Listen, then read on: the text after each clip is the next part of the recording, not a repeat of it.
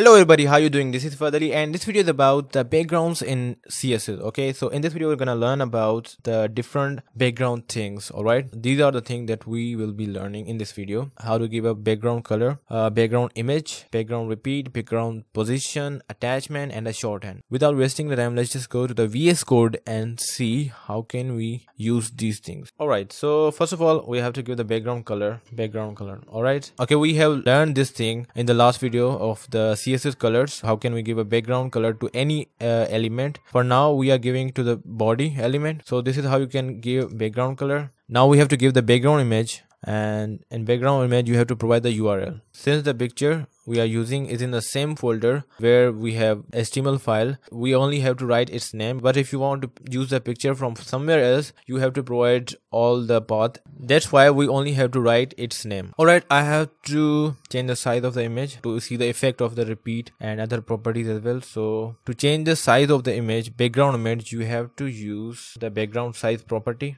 200 px this is how you can change the size of your background image. Now i want to use repeat property. Background all right first of all i just want to go with the no repeat so it won't repeat any value. Let me just delete the color head to see the effect of the image. This is for no repeat but if i just write repeat x this is how it will repeat the value. If i write y this is how it will repeat the value vertically x for the horizontal y for the vertical. But if you just want to repeat uh, vertically and horizontally as well you just have to give it a value of repeat. But by default it's uh, on the repeat value. If you even don't give any value it will still uh, repeat the image. Now what we have is background background position. For now no repeat. Okay the background position is used to position your background image for now. If i want to put it onto the center. This is how it will put it into the center. All right we also have the other values. If you want to put it on the right you can write the right. All right so this is how you can position your background image. Okay now we have to use the background attachment property. So there are different values of background attachment. Uh, we have the two values the fixed and the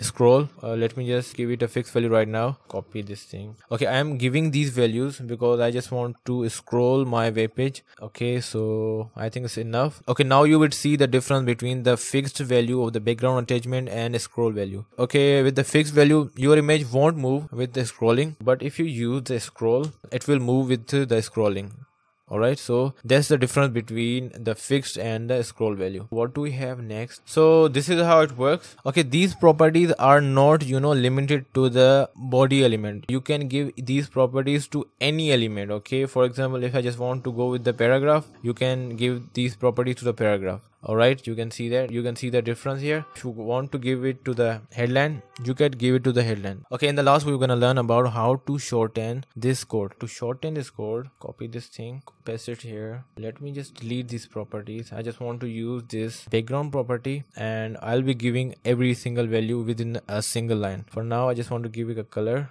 That would be blue. And let me just delete this thing here. Blue color url for the image. Okay we have the image. Let me just give it a scroll property. Save it again. Okay we have the scroll property right now. No repeat. I don't want to repeat anything. Save it again. Okay now you can see that we don't see the repetition of the image background image. And let me just put it on the fix. No repeat. When i'm using the fixed it occupies all the space. Just settle for the scroll. No repeat and center okay so this is how you can shorthand your code. All right so this is all for this video. If you really find this useful hit the like button and subscribe the channel and bye bye